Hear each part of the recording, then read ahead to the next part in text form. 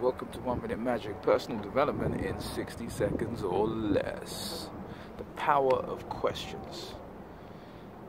Now, this is something I learned from studying hypnotherapy. Questions are very hypnotic in terms of their ability to focus your attention and to elicit a specific state.